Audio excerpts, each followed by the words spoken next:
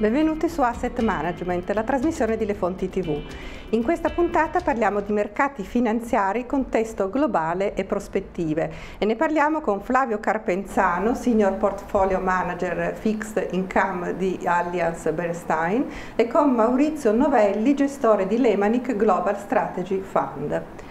I mercati finanziari stanno subendo un po' la situazione della, di questa guerra commerciale tra la Cina e gli Stati Uniti che sta diventando più che altro anche una, una guerra fredda, nel senso che eh, i due eh, paesi stanno, stanno, lottando tra di loro per poter avere poi l'egemonia e un ruolo internazionale e restare per quanto riguarda gli Stati Uniti il paese di riferimento anche con la propria moneta come eh, moneta di riferimento. Questa guerra commerciale mondiale, quindi eh, guerra fredda, eh, come l'abbiamo definita, eh, può, portare, può allungare moltissimo i tempi per quanto riguarda un ritorno a, e soprattutto una sicurezza di una ripresa, interna, eh, di una ripresa internazionale. Ehm, L'Europa segue, cerca di barcamenarsi in questa situazione, ma vediamo un po' meglio qual è lo scenario macroeconomico con i rischi e le opportunità che si presentano eh, Carpenzano. Sì, grazie mille. Eh, nel senso, come, come, diceva lei, giustamente viviamo uno scenario macroeconomico di incertezza, nel senso che c'è un rallentamento nella crescita economica a livello globale, in parte guidato dalla Cina, in parte guidato dagli Stati Uniti, soprattutto in seguito al mancato eh, diciamo, impulso fiscale che, che va via quello dell'anno scorso, e l'Europa che, come diceva giustamente lei, segue. Uno dei, degli aspetti eh, fondamentali, nel senso il motivo per cui ci aspettiamo un rallentamento è chiaramente la guerra commerciale fra gli Stati Uniti e la Cina. Da questo punto di vista è importante secondo me mettere a fuoco un paio di aspetti. Uno, ricordiamo che fra i due litiganti, per così dire, fra America e Cina, in realtà chi ci rimette è l'Europa. L'Europa è un'economia aperta, in quanto aperta ovviamente quella che verrà impattata maggiormente da una distruzione o comunque una eh, disruption, diciamo così, del, nella, nell'offerta globale. Eh, quindi questo è il motivo per cui vediamo un rallentamento nell'economia europea, soprattutto in Germania nel settore manifatturiero. È chiaramente il paese che viene maggiormente impattato da queste tensioni. Detto questo, Cina ovviamente eh, inizia a subire un rallentamento dovuto a queste tensioni. In maniera importante la Cina comunque diciamo che ha l'abilità e gli strumenti per attenuare questa crescita gli Stati Uniti in maniera simile diciamo, sono meno impattati da questa guerra commerciale perché l'America resta comunque un'economia guidata dalla domanda interna. Secondo me quello che ultimamente e più di recente è interessante invece è la ripresa del conflitto fra gli Stati Uniti e il Messico,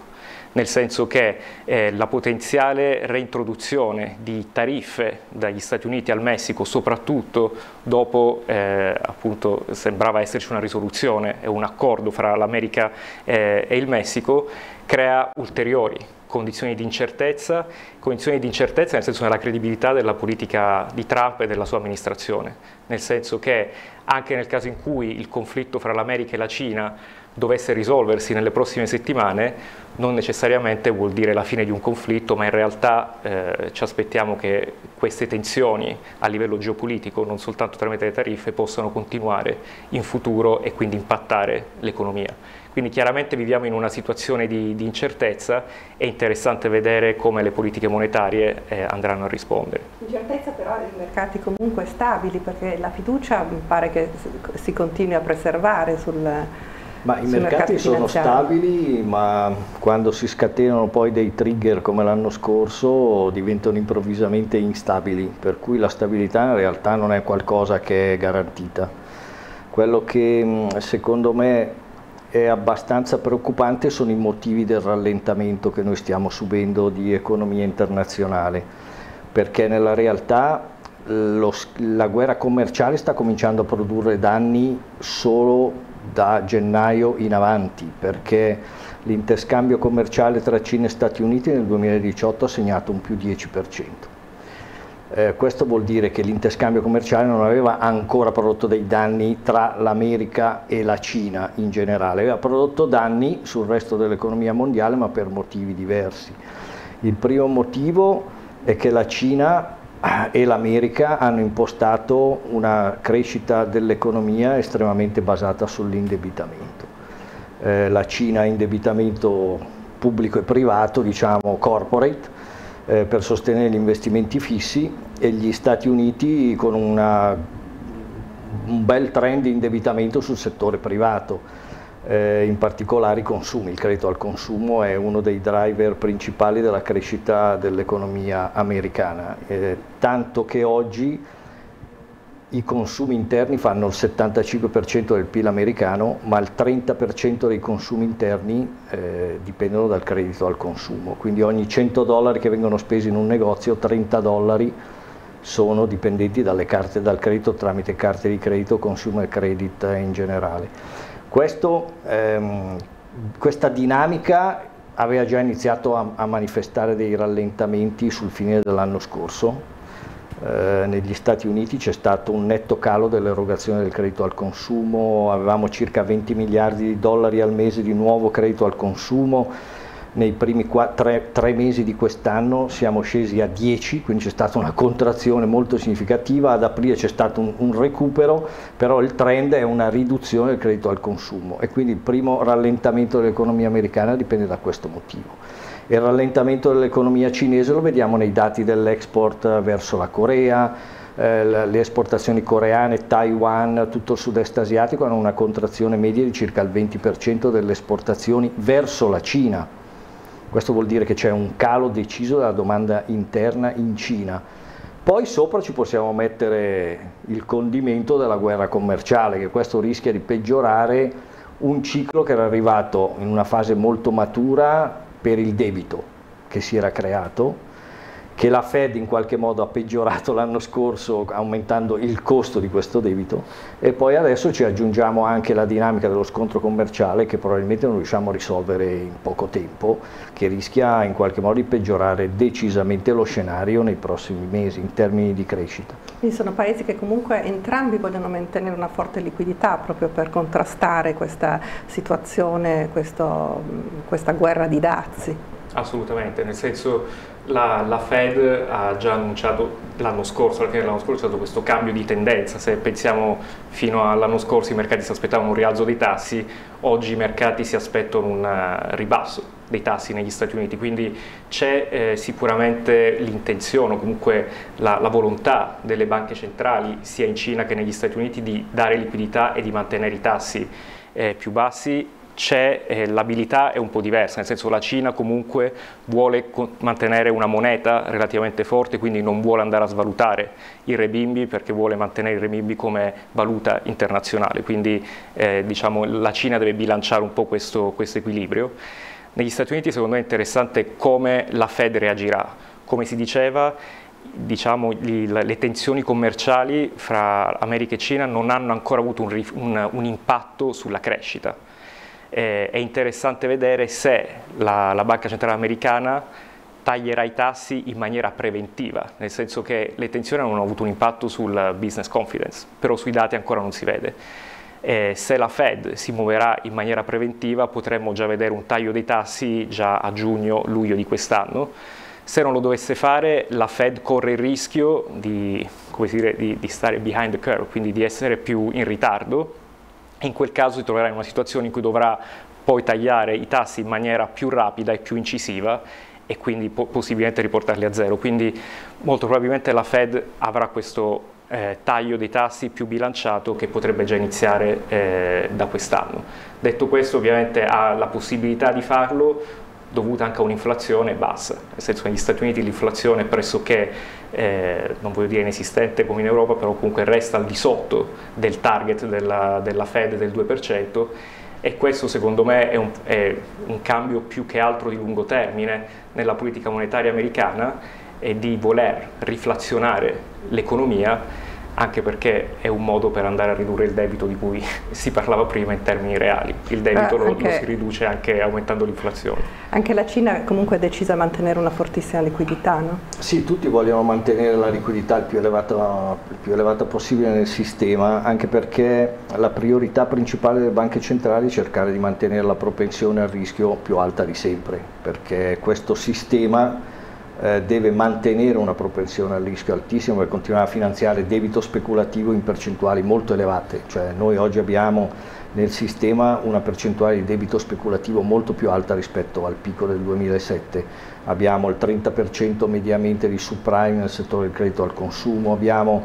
eh, un trillion di leverage loan solo nell'economia americana che sono quasi il 6% del PIL degli Stati Uniti, quindi stiamo parlando di credito speculativo particolarmente pronunciato ehm, e abbiamo una percentuale di high yield mai vista prima nel sistema finanziario mondiale, cioè oggi mediamente in tutto il mondo, su tutti i mercati obbligazionari, il 50% delle emissioni sono high yield. Nel 2007 erano il 12%. Questo è solo per far capire questa impostazione delle banche centrali ha portato a una altissima propensione al rischio, alla caccia del rendimento e questo ha indotto a a, entrare nel mercato a emittenti con rating molto bassi che sono finanziati esclusivamente dalla massa di liquidità. Però è chiaro che qui la situazione si fa un po' critica perché tutti iniettano liquidità nel sistema, però gli Stati Uniti si trovano secondo me in una posizione molto più vulnerabile rispetto a altri paesi, perché la Cina ha un sistema finanziario chiuso, il Giappone ha un avanzo di bilancia dei pagamenti e un avanzo di risparmio con l'estero elevatissimo, l'America ha un debito nei confronti dell'estero in termini di risparmio. Eh, nel 2002, la, prima della crisi eh, economica della scoppio della bolla della tecnologia, l'America assorbiva risparmio dall'estero pari al 52% del suo PIL. Nel 2007 il 54%, oggi il 68%. Quindi per mantenere le asset class americane a questi livelli devono continuare a assorbire tantissimo risparmio dall'estero e quindi essere, mantenere un dollaro forte, perché se il dollaro si indebolisce questo flusso di capitale verso l'America è destinato a cedere. Sono tutte delle situazioni che mettono un po' la banca centrale americana, secondo me, in una situazione molto scomoda, perché non puoi avere il dollaro forte e abbassare i tassi di interesse. Sono due cose che non sono compatibili tra di loro, così come non sono compatibili tra loro tassi molto bassi e alto rischio del credito, nel senso che la remunerazione del credito speculativo probabilmente se l'economia comincia a cedere e il ritorno sul capitale investito, le bidda delle principali aziende comincia a contrarsi, mantenere un, un, livello di leverage così alto per l'economia americana diventa molto difficile, per cui l'economia americana è vulnerabile indipendentemente da quello che può fare la Fed ai flussi di capitale dall'estero, cosa che altri paesi non lo sono. Quindi diciamo una situazione di mercati altamente speculativi, eh, se, se, dovessimo fare un paragone tra il periodo precedente, diciamo il 2006-2007, prima che scoppiasse tutto eh, il, um, il, bubone diciamo, eh, della crisi internazionale e, e la situazione di adesso, perché più o meno... Ma diciamo che da questo punto di vista non sono proprio così d'accordo, nel senso che la situazione in realtà è molto diversa dal 2007 a oggi, non, eh, non, ci aspettiamo in realtà una situazione così catastrofica, nel senso che poi in realtà oggi sia anche l'economia americana, gli squilibri che c'erano nel 2007 non sono più così pronunciati, nel senso ci sono sicuramente delle parti del mercato come la parte corporate high yield dei bank loans o del credito al consumo che hanno iniziato a mostrare eh, forme di reindebitamento, ma in realtà secondo me l'aspetto, la, la, differenza chiave fra il 2007 e oggi, che renderà oggi il sistema più stabile, è A il sistema finanziario, quindi delle banche americane, B comunque l'indebitamento del cittadino americano medio, nel senso l'indebitamento è molto più basso rispetto al 2007 e le banche sono molto più ricapitalizzate, hanno una qualità degli attivi molto più alta. In realtà se guardiamo da un punto di vista secolare c'è un trend molto forte, nel senso che è vero che il livello di indebitamento mondiale è molto più alto, cioè oggi se togliamo il settore finanziario parliamo di 190 mila miliardi di indebitamento che sono 60 mila miliardi in più rispetto al 2008, quindi c'è stato chiaramente un aumento dell'indebitamento, dove si è visto l'indebitamento? Chiaramente i governi sotto forma di banche centrali che comprano titoli di Stato e la parte dei corporate, quindi la parte di investment grade e high yield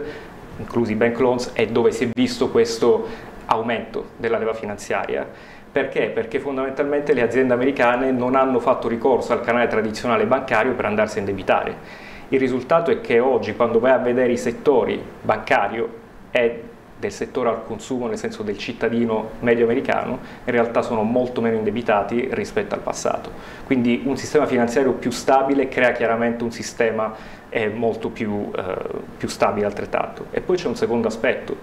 che secondo me rispetto ai cicli economici passati, eh, ha incluso anche quel 2007, non ha il tipico aumento della crescita molto forte e poi una recessione molto pronunciata. È vero che viviamo il stiamo vivendo uno dei cicli economici più lunghi, fra qualche mese sarà il ciclo economico più lungo storicamente,